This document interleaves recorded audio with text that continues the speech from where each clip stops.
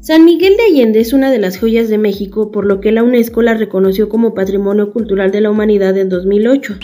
Se encuentra en Guanajuato y se fundó como misión en el siglo XVI. Posteriormente se convirtió en una importante cruce entre ciudades mineras. Durante la independencia jugó un papel muy importante y luego complementó su nombre con el apellido del insurgente Ignacio Allende, quien allí nació. En la actualidad, San Miguel es uno de los destinos favoritos para nacionales y extranjeros.